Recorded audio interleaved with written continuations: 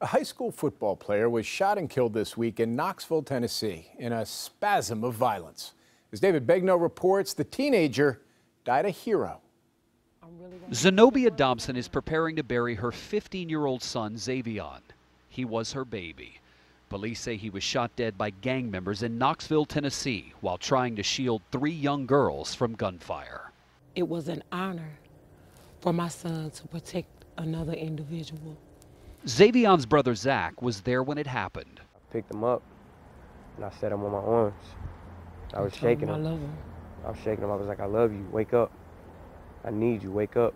Two of the teenage girls who Zaevion Dobson shielded from bullets have called the high school football standout a hero. If it wasn't for Zaevion, if me or her would have probably been shot.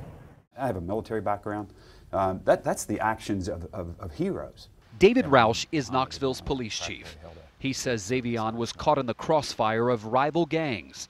Rausch says one of the gang members who shot at Zaevion was Brandon Perry. A group of men shot at Brandon Perry's home, and Brandon Perry went to retaliate. And in retaliating, he shot this football star. That's, that's absolutely correct. Yeah, that's exactly what we know at this point. The chief says Perry ended up being shot and killed by a rival gang less than three hours after he shot at Xavion.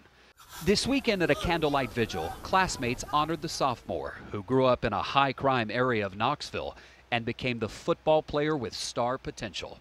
Rob Black was his coach.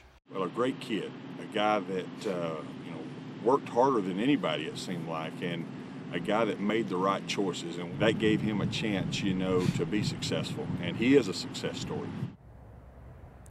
As Zaevion's family and his football team prepare to bury him the day after Christmas, Knoxville police are still actively looking for three more gang members they say are suspects. That's because police believe in total, five gang members all fired randomly at Zaevion and the teenagers who were around him. Jim, those three young girls who Zaevion shielded were not hurt. David Begnaud with the heartbreak in Knoxville. Thank you.